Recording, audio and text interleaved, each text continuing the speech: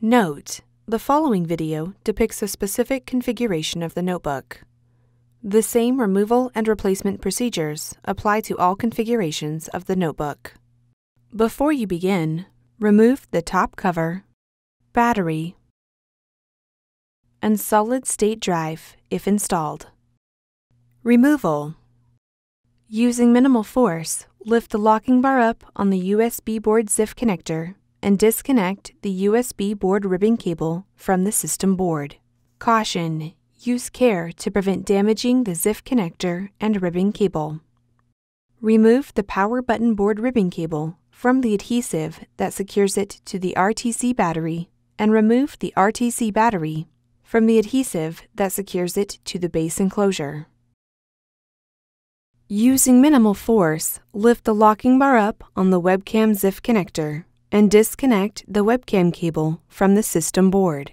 Caution Use care to prevent damaging the ZIF connector and cable. Carefully disconnect the wireless antenna cables from the wireless module by grasping the connectors with a small pair of needle nose pliers or tweezers.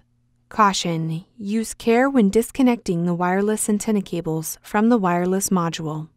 A damaged cable or connector can degrade notebook performance. Disconnect the speaker cable from its connector on the system board. Using minimal force, lift the locking bar up on the display panel ZIF connector and disconnect the display panel cable from the system board. Caution Use care to prevent damaging the ZIF connector and cable. Disconnect the power connector cable from its connector on the system board. Using minimal force, lift the locking bar up on the hard disk drive ZIF connector and disconnect the hard disk drive ribbon cable from the system board. Caution Use care to prevent damaging the ZIF connector and ribbon cable. Peel back the grounding tape and remove the metal shielding that covers the USB connectors on the system board.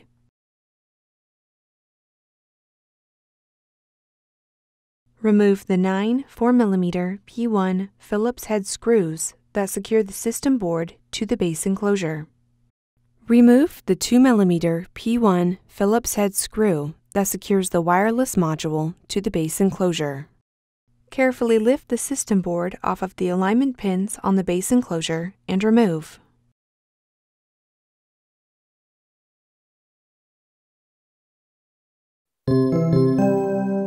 Replacement Note before installing a system board, remove the following from the old system board and install on the new system board.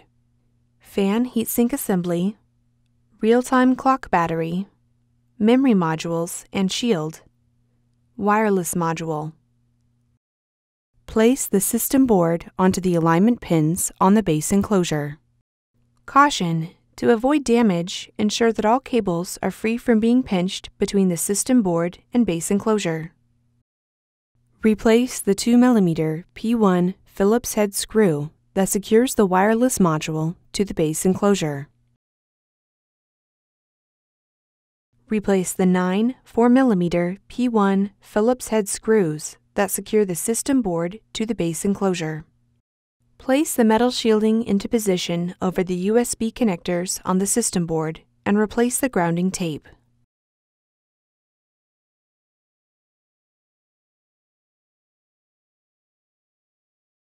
Insert the hard disk drive ribbon cable into the hard disk drive ZIF connector on the system board and press the locking bar down to lock the cable into place. Caution! Use care to prevent damaging the ZIF connector and ribbon cable. Connect the power connector cable into its connector on the system board.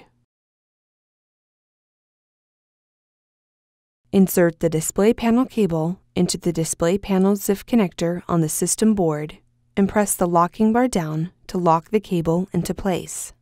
Caution! Use care to prevent damaging the ZIF connector and cable. Connect the speaker cable into its connector on the system board. Reconnect the wireless antenna cables to the wireless module. Caution! Use care when connecting the wireless antenna cables to the wireless module. A damaged cable or connector can degrade notebook performance. Insert the webcam cable into the webcam ZIF connector on the system board and press the locking bar down to lock the cable into place. Caution! Use care to prevent damaging the ZIF connector and cable. Place the RTC battery into position on the base enclosure and apply pressure to adhere it into place. Apply pressure to the length of the power button board ribbon cable to adhere it to the RTC battery. Insert the USB board ribbon cable into the USB board ZIF connector on the system board and press the locking bar down to lock the cable into place. Caution! Use care to prevent damaging the ZIF connector and ribbon cable. Important! After system board replacement, be sure to complete post installation tasks as required that may include verifying functionality of the notebook, updating the BIOS, updating DMI and other settings.